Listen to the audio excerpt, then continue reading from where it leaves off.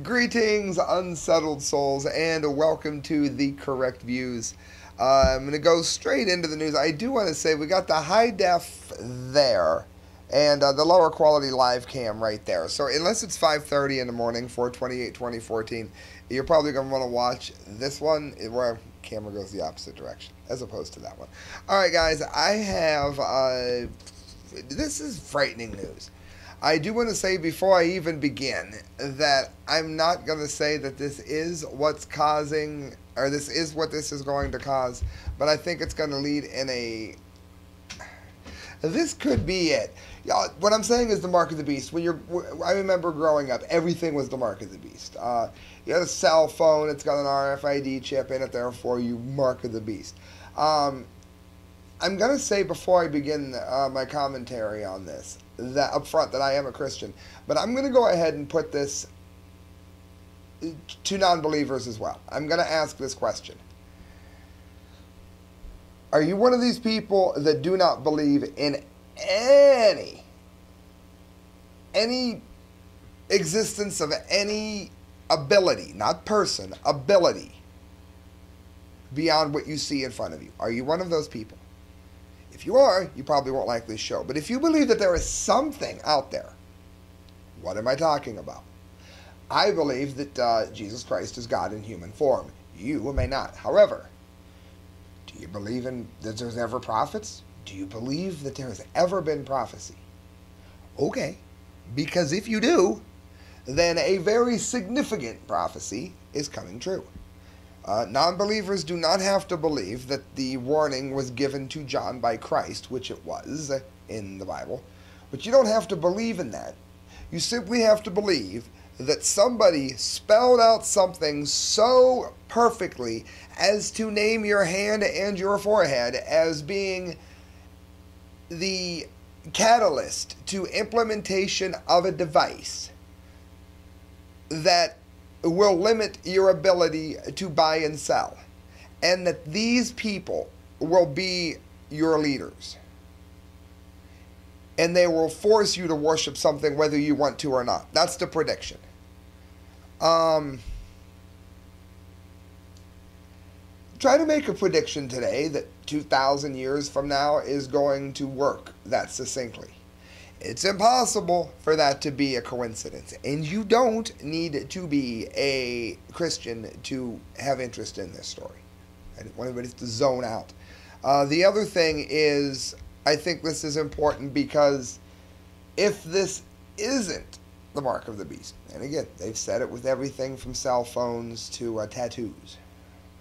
Um, if it isn't, it does raise the question of what will your stance be if and when it is. And uh, any look around you at technology, it's not a far fetched notion. So, with those things in mind, we will go to Mac Slavo from SHTFplan.com.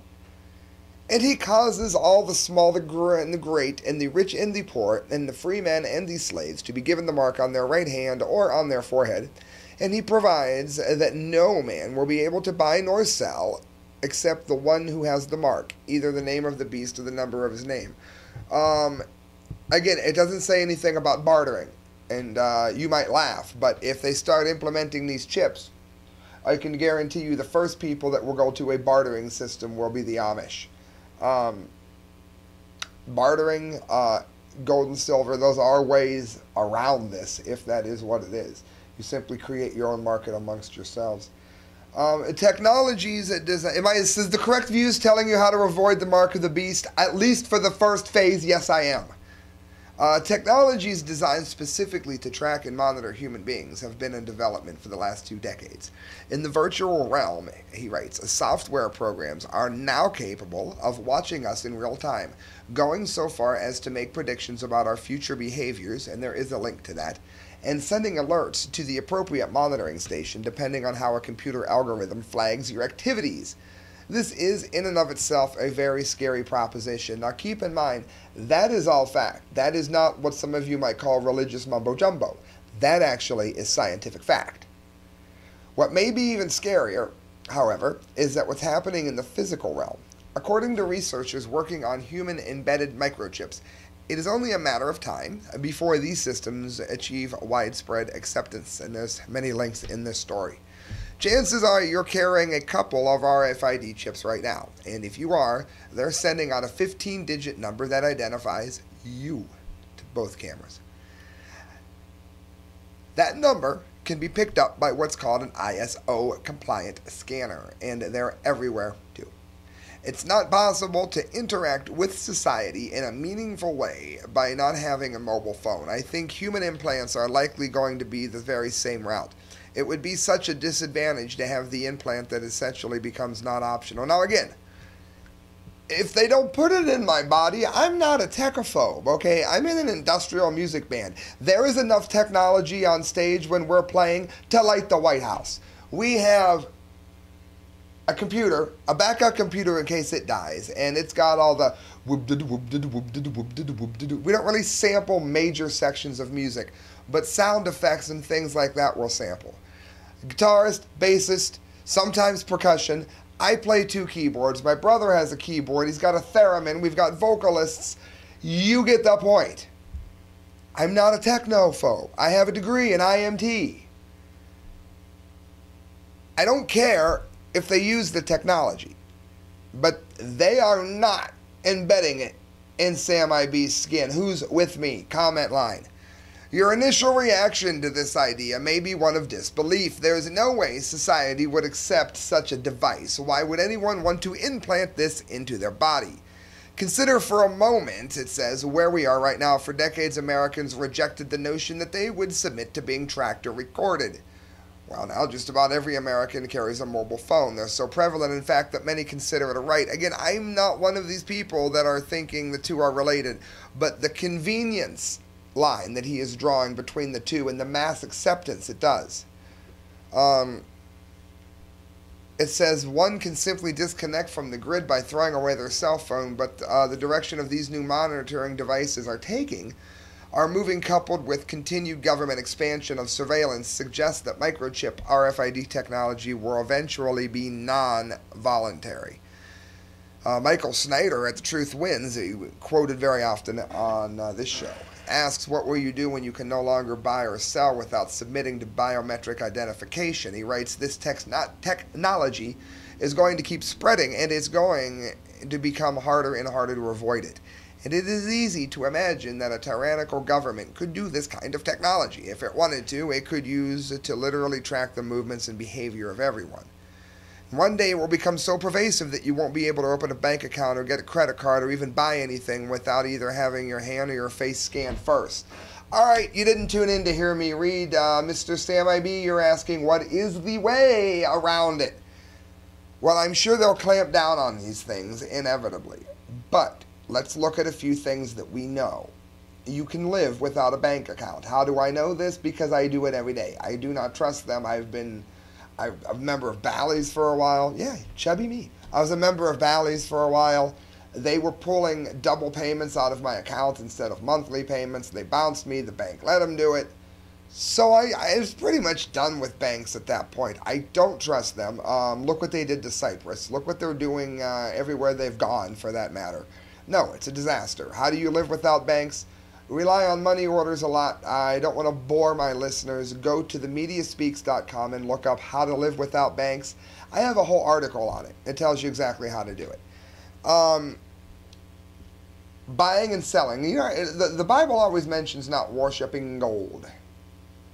Well, do you know that one of the things that led to the crash of the Roman Empire was fiat currency, uh, uh in equivalency to like paper money? It's one of the things that crashed the Roman Empire.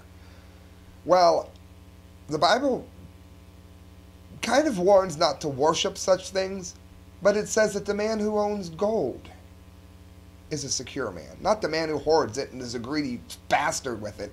Those who own gold. Gold, silver will prevent you from needing the currencies that they're going to make you have. Um, credit cards are becoming a worse and worse idea.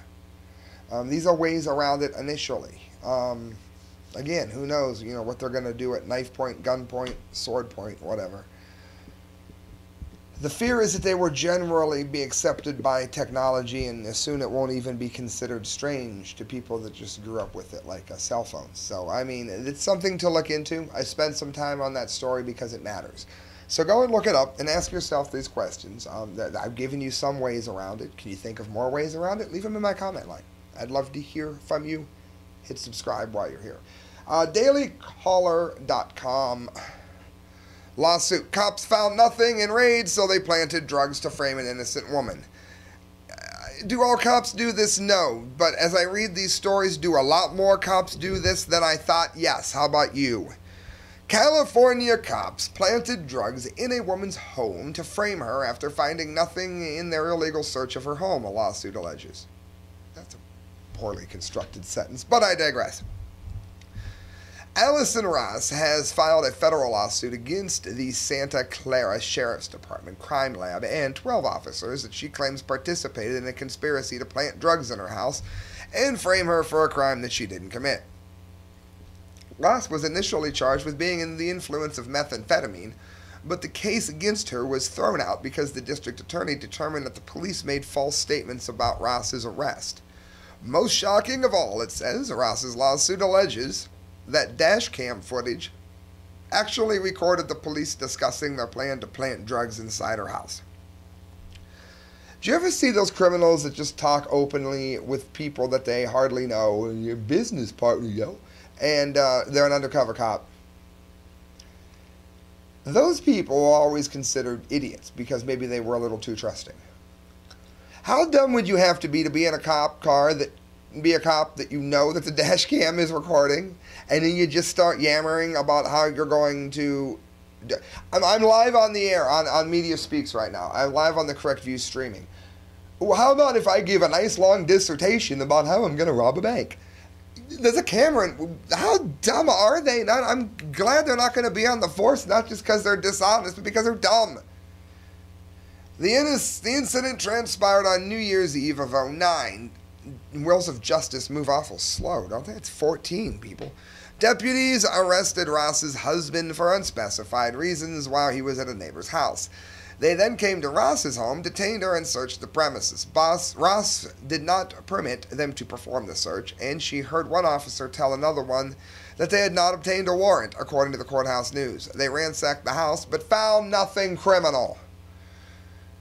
Again, they wouldn't have had a right to have used it anyway. The Fourth Amendment does matter, but again, underscore innocent. Dashcam footage caught them admitting as much. The house is clean, there is no meth in the house, said one officer, according to the complaint. The officers then discussed taking white powder from the police vehicle and planting it into the house. There's going to be an F bomb coming. It's a quote. If you don't like it, skip ahead 10 seconds. We're going to spike that and we're going to spike him. I got the meth in the fucking car. Police reported that they found two bags of white powder inside the house, although it was later proven to be false. Ross also believes that the crime lab tampered with evidence. Her lawsuit alleges false imprisonment, malicious prosecution, negligent hiring, and conspiracy. So good. It says the lawsuit also brings up other questions. If the district attorney's office dismissed the charges due to false statements, why haven't the people who made these false statements been prosecuted for perjury? That would be the cops. And why are these particular police officers still on the job? Um, guys, Kurt Nimmo InfoWars, Tiny Agenda 21 Homes for the Homeless. Now, I'm not going to attack this the way that everybody else did. I don't mean radio. I don't mean radioactive waste. I don't mean anything that's going to hurt somebody. But if you can use uh, case and junkyard scrap, cheap metals, if you can make a home for a homeless person that is not made out of anything toxic, I don't have a problem. Here's what I have a problem with. This is why I was chanting Agenda 21 is Agenda 666 on my uh, Bilderberg Why It Mattered to Me movie. It's on my channel. Look it up. Free. Watch it. Rate it. Um, what bothers me the most is the way that they're weaseling this in. Well, if you're against this, you don't want to help the poor. You're one of those mean libertarian people. You're an anarchist survival of the fittest and you hate the poor. I was poor for so long it's not even funny. Um, no. I hate what they're doing because they are trying to get all of us to accept well, the homeless people do it. Maybe we should have a smaller place. Maybe you don't need as many. I, my girlfriend and I, we have a three bedroom. And she's got her own room for her girly, sewy stuff. Uh, she smokes cigarettes there and pretends nobody knows it. I've got the studio in one of the rooms. Of course, we have the bed. We don't need all those rooms, Sam. We should consolidate. Good for the planet. Even though ClimateGate.com has tons of proof that we're not warming the planet. Um, no, no, Sam. You hate the poor people.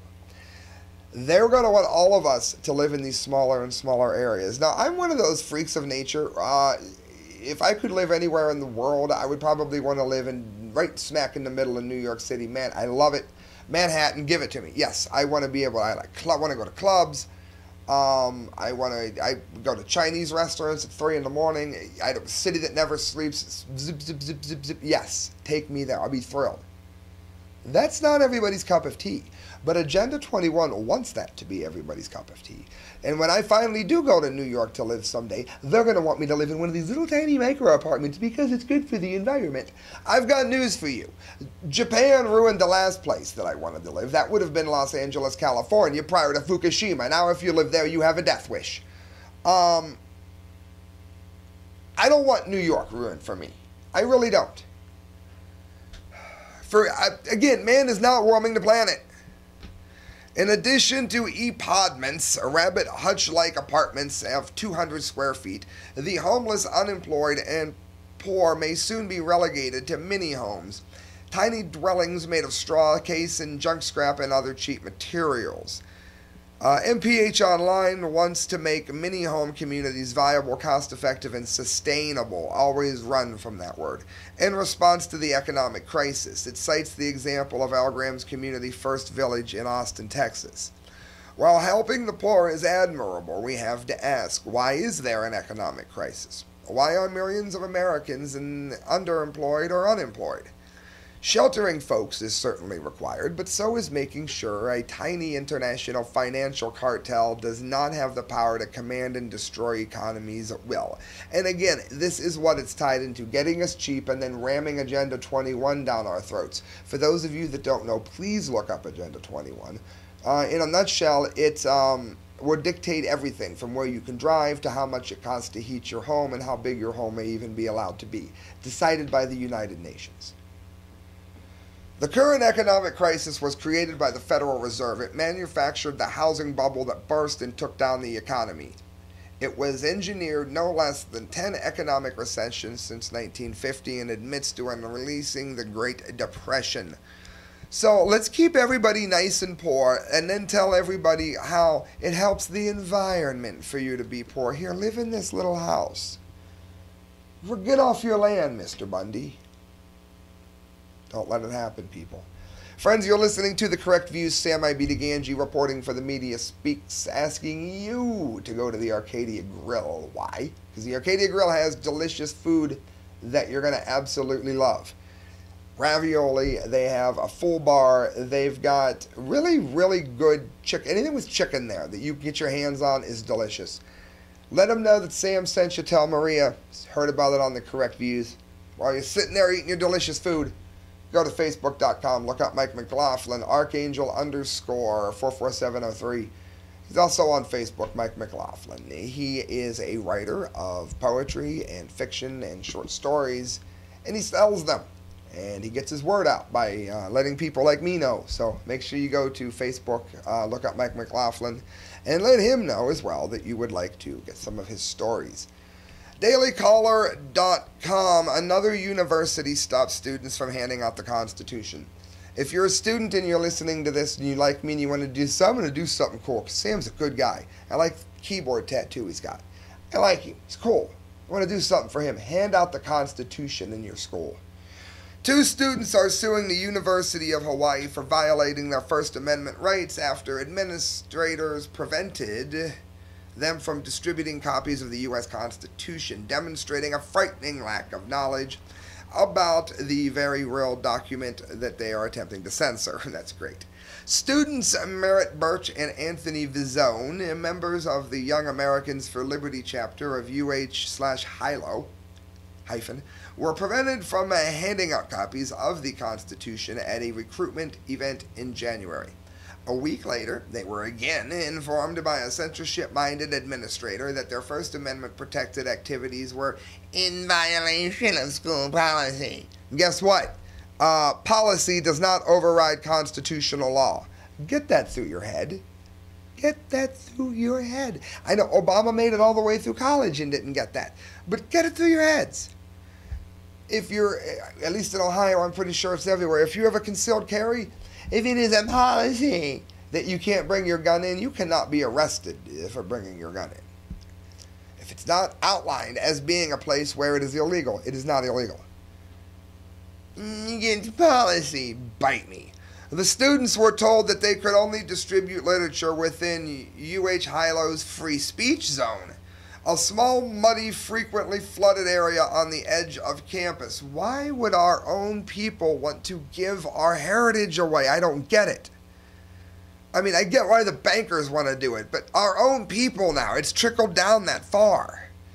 Administrators further clarified their level of respect for students' free speech rights, making comments like this isn't the 60s anymore, and people can't really protest like that anymore. Don't tell me how to protest. I'll protest any way I damn well please according to the Foundation for Individual Rights in Education. The First Amendment has not been modified since the 1960s, however, and robustly protects the rights of students at public universities to hold non disruptive protests, speak their mind, and distribute literature. Thank God. Administrators also maintain that university policy took precedent over constitutional rights, according to the complaint. It's not about your rights in the case, it's about the university policy that you can't approach people, said Ellen Cusano, Director of Student Affairs, according to the complaint. Well, then they shouldn't have been allowed to approach them to tell them they couldn't hand them out. It must have been against policy. Greg Lukianoff, president of FIRE, could not immediately be reached for comment, but wrote in a statement that his actions were absolutely acceptable. Yeah, probably to Hitler. He also noted that this was the second recent instance of a college censoring the distribution of copies of the much hated Constitution. A similar thing happened at Modesto Junior College in California, where student Robert Van Tuinen has successfully sued MJC for violating his rights.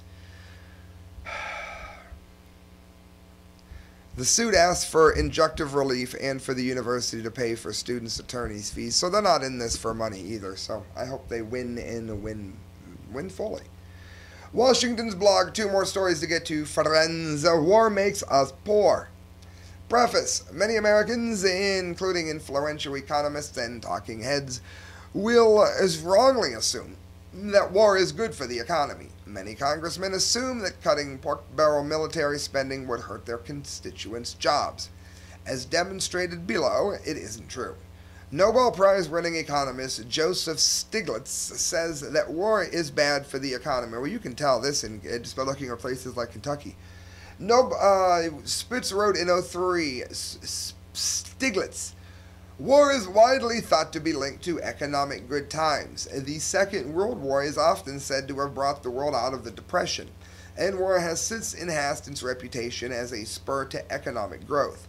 Some even suggest that capitalism needs wars, that without them, a recession would always lurk on the horizon. Now, the gold standard will prevent much of that.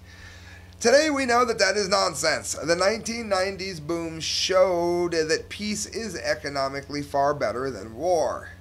The Gulf War in 91 demonstrated that wars can actually be bad for the economy. Stiglitz has also said that this decade's Iraq war has been very bad for the economy, and there are many links in this article to prove all of this that is in it. Former Federal Reserve Chairman Alan Greenspan also said that war is bad for the economy. In 91, he said that a prolonged conflict in the Middle East would hurt the economy. And he made the point again in 1999 as a paragraph that pretty much says what I just paraphrased. Um, Military spending may be one, one time been a genuine job creator, writes Mike Lofgren, when weapons were compatible with converted civilian production lines. But today's Rosie the Riveter, in the days of Rosie the Riveter are long gone. Pause for those of you that don't know. Um, they were turning uh, the United States Metalworks Foundations and uh, places that made engines and motorcycles and everything else. They were turning them into production lines for the war. They were just converting them over. And you had what was known as Rosie the Riveter. It was this lady that was uh, used as a poster child, literally, um, for the women to join the workforce so that America could win the war. You can't just turn a automobile um, factory, of which we have very few anyway, and have them churning out stealth bombers. Okay, that mentality isn't applicable anymore. Those days are gone with your pager. Most weapons projects are now require relatively little touch labor. Instead, a disappropriate share is siphoned into the high cost of research and development, from which the civilian economy benefits very little. Who benefits? The big bankers that own these things. Exuberant management expenditures, high overhead, and out and out padding, including money that flows back into political campaigns. A dollar appropriated for highway construction, health care, or education will likely create more jobs than a dollar for Pentagon weapons procurement. Many more links, many more graphs.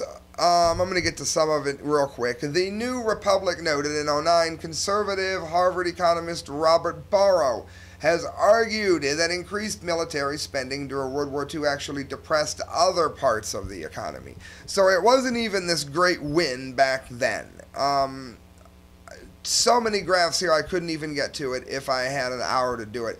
Go and look this up. There, uh, Ron Paul talks about it in 07. Blanchard Economic Research pointed it out in 2001. Uh, liberal economist James Galbraith in 04 talked about it. Quote after quote after quote. You didn't tune in to hear me read, but the proof is in, friends. I, just like we know that Al Gore's proof in science is not in, man is not warming the planet the proof is in. The war is making us poorer and poorer and poorer. We've been at war nonstop now for how long, and our economy has never looked worse. The last story of the night, the Dumdy of the day. Uh, many of you know that I do the Dunce Cap of the month once a month. It's the 28th, so it's going to be coming up real soon. I collect Dumdy stories throughout the month, and uh, I can't even get to them all in one show, even though they're a half hour long or so. So I do one Dumdy at the end of each show, and then I mail out my Dunce Cap and my Dunce Award, letting them know how dumb they are once a month. Um, these people at the end of the show do not win the award, but they were too stupid not to cover. Police chief not wanting to talk to police officers is odd. Tim Cushing Tech Dirt. Yeah, you don't want to talk to a cop, it's odd. This insight into how police think the public should interact with them is certainly enlightening via this tweet by Amy Elkins' Advice God Bless blog. The backstory is this A woman was walking down the street when a motorcycle cop approached her, asked her if she lived in the area, and if she, if she could talk to him. She says his approach made her feel uncomfortable and she refused and continued on her way. For those of you that don't know, that's her constitutional right, by the way. I thought that maybe he was flirting, she said. I just thought that it was odd. I thought it was odd. I was really sure that I felt uncomfortable because he wasn't because there wasn't anyone around. She says that she was worried she might not even, he might not even be a real cop. So she refused to stop and began jogging away from him he just crept along beside me on his motorcycle and started saying, Hey, ma'am, I want to talk to you. Hey, stop, ma'am, I want to talk to you. Then my anxiety rose even higher, she said. This was followed shortly thereafter by the cop dismounting, chasing her down, tackling her, and placing her under arrest. The police chief claims this arrest was for walking on the wrong side of the road. Yeah, and the Bundy Ranch was about the tortoise as well as evading arrest and resisting arrest, despite the fact that she wasn't ultimately charged with anything. How can you be arrested if you're not charged with anything? Sieg Heil, even if the preceding events could possibly be dismissed as heresy, her- heresy, wrote to them, hearsay, or something tainted by false impressions and emotions, there's the police chief's responses to questions about this interaction. White House Police Chief Craig Shelton says by law you're not required to stop and talk to an officer if there's not a lawful reason for them stopping you. But he says, normally if a police officer pulls up, in my opinion, it's awful odd for someone just to take off and not want to speak to the off- police officer, Shelton said. It's not odd. Yes, it may seem odd to a police officer, but it's not at all odd for citizens, even those committing no real crime. Shelton justifies the stop with the walking on the wrong side of the street crap to have no desire to talk to police officers. A huge imbalance of power makes conversation uncomfortable. It uses as an analogy here. Anyone who's attempted to small talk with their boss understands this. If someone doesn't want to talk to a cop, it's not odd, it's normal. And don't forget, uh, people that go out of their way to speak to cops are usually considered to be terrorists or criminals. That look it up; it's they're trained that way. Only a cop, someone who doesn't understand the strain caused by the imbalance of power, could consider this response odd. And when law enforcement officials use the word odd, they actually mean suspicious. Hence, this woman was being chased, tackled, and arrested for walking on the wrong side of the street. Forgive me if that seems odd. Holding a conversation with a cop without somehow appearing nervous, fidgety, or otherwise strained, all natural body responses that will be read by most cops as signs of guilt, isn't something that most people can do. Knowing that these common reactions will only serve to alert cops to theoretical criminal behavior further exacerbates the situation. Beyond that, it says, there's other assertions Shelton makes in defense of his officer's actions. First, he claims that the cop's motorcycle and uniform clearly indicated that he was a cop and not some bad guy seeking to do harm. The motorcycle has a patch on both sides of the gas tank. It's black and white and says Whitehouse Police and has red and blue lights on it. Whitehouse Police Chief Craig Shelton said. So why? So you have to take it for what it is. Do you think he's a White House police